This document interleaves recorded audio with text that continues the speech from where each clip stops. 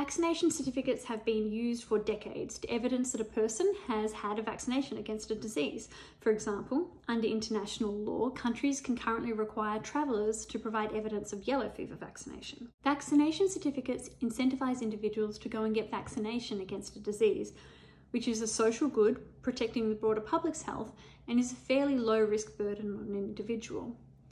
In contrast, immunity passports incentivise individuals to go and get infected, which not only puts other people at risk, but also has potentially severe or even fatal and long term health harm to that individual. Once we have a vaccine, countries may want to impose a restriction that individuals travelling to their country provide evidence of vaccination.